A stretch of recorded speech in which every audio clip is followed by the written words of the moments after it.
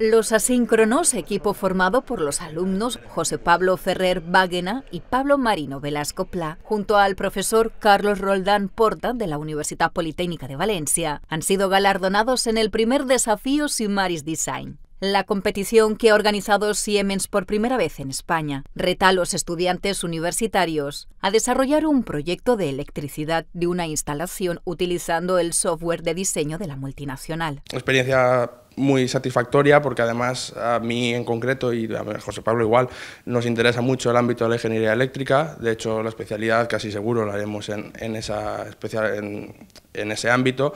Entonces, pues conocer software de, de, diseño de instalaciones eléctricas y demás siempre es interesante, ¿no? Para, y, y el, en una empresa grande como Siemens, para, para meterse en ese mundillo. Además de los asíncronos, otro de los tres equipos finalistas, el MIA, también está integrado por alumnos de la UPV, Alejandro Martín Barreales y Manuel Moreno González, así como el profesor Roldán Porta. Ganamos la, la experiencia de, de, poder dejar un poco al lado el tema académico y poder eh, ver cómo se trabaja de verdad en lo que viene siendo la ingeniería. El desafío de Siemens ha constado de dos fases. La primera, que se desarrolló vía online, consistió en realizar la presentación de un diseño eléctrico real. Solo los seleccionados ocho equipos de más de 30 procedentes de toda España pasaron a la segunda, donde un jurado técnico fue el encargado de evaluar los mejores proyectos y nombrar al ganador tras una disputadísima final. En la fase de grupos hicimos, fue un hospital